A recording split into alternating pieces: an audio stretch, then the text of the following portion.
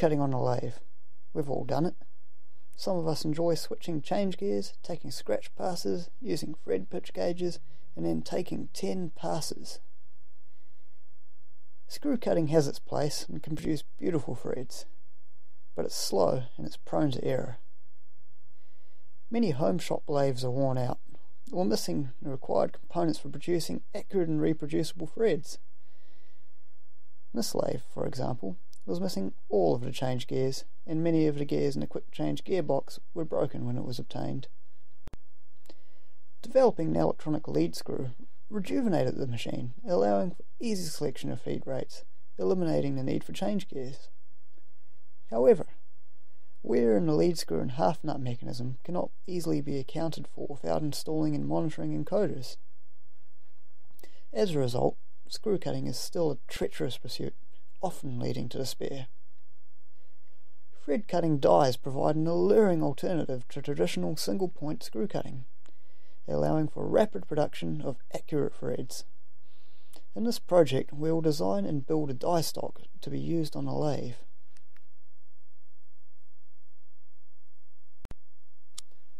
The assembly of the die stock body is shown on your screen now. The main body is composed of five components. Through the centre we have a support tube. On each end we have die holders. One size accepts 1 inch dies and the other accepts 2 inch dies. Adapter inserts may be produced to fit other die sizes into these holders, for example 13 16 inch and 1.5 inch dies. While not recommended, this die stock is likely to be used under power. As such, there is a risk of running a die into a shoulder. Conventional die stocks have no allowance for such an occurrence, and as a result can be rather dangerous or risk damaging freshly cut threads at least.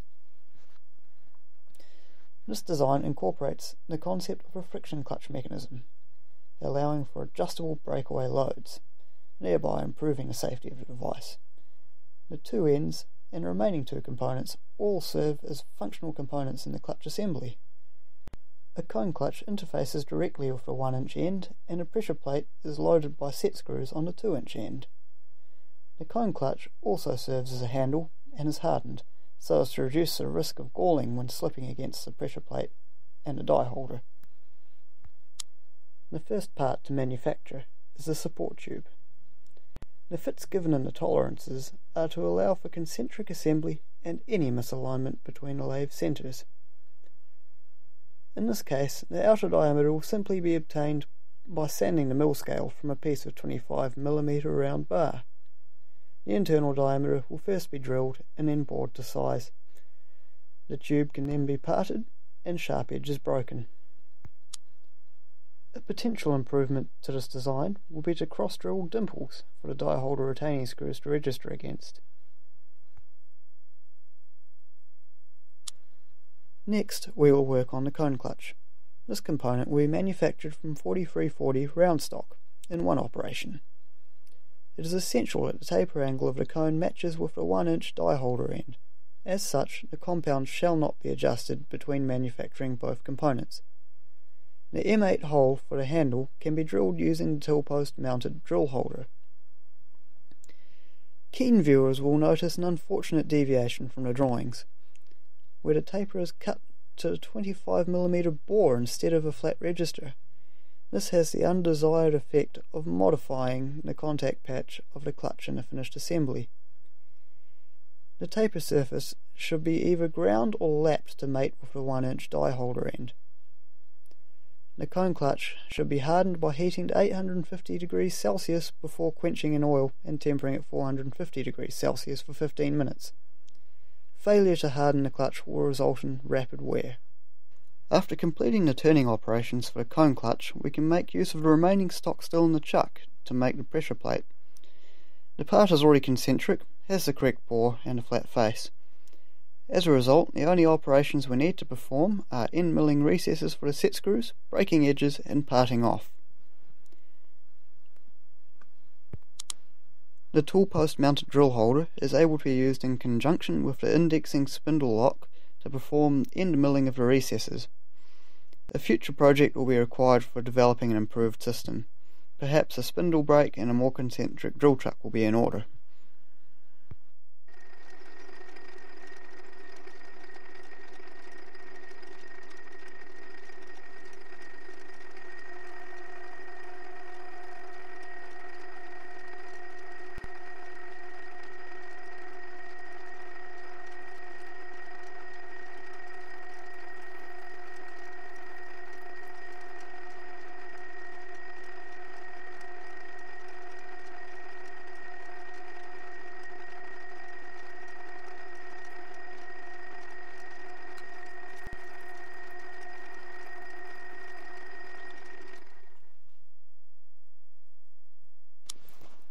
Work can now commence on producing the two die holding ends. We will start with the 1 inch end.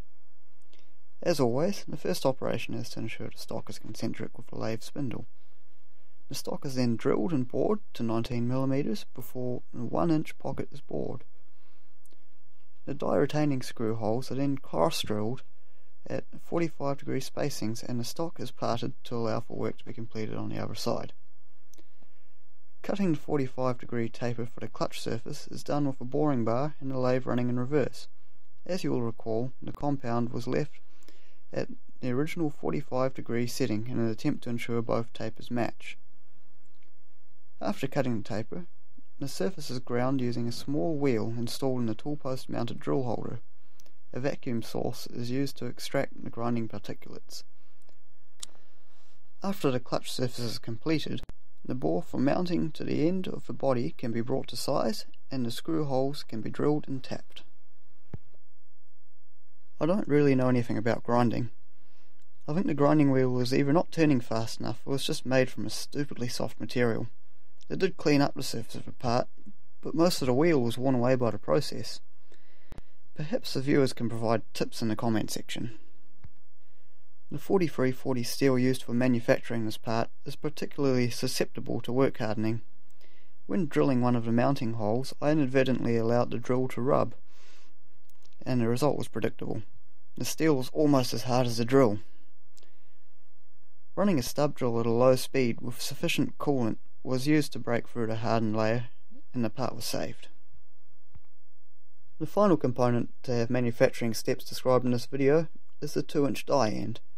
This is a feature-rich part, consisting of both axial and radial hole groups. As such, the phasing of hole groups is important if one wishes to avoid interference between holes.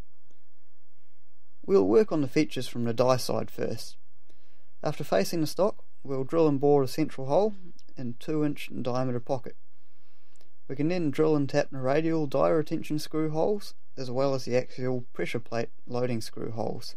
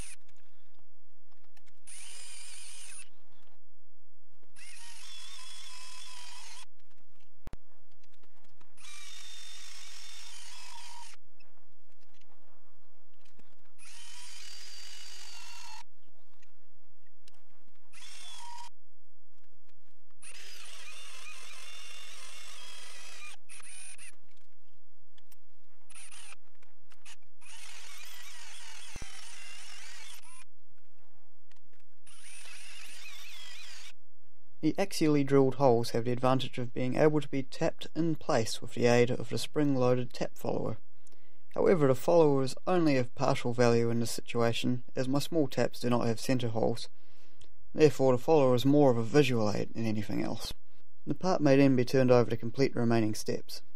You must be careful at this point, as the phasing of the radial holes used for retaining the end on the body must be such that they do not intersect the axial holes used for loading the pressure plate. Otherwise the part won't work, as you can imagine.